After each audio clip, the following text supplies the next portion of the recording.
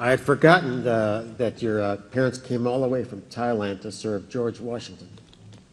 You're welcome to take some time if you want to respond to that, too. Sure. Uh, there's been uh, members of my family serving in uniform. Uh, on my father's side, going back to the Revolution, I belong to the William J. Penny chapter of the Daughters of the American Revolution.